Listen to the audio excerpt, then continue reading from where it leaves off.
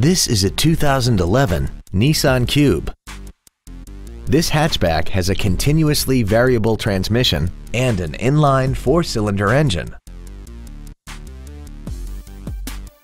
Features include traction control and stability control systems, full power accessories, a rear window defroster, side curtain airbags, variable valve timing, tinted glass, an anti-lock braking system, and this vehicle has less than 16,000 miles.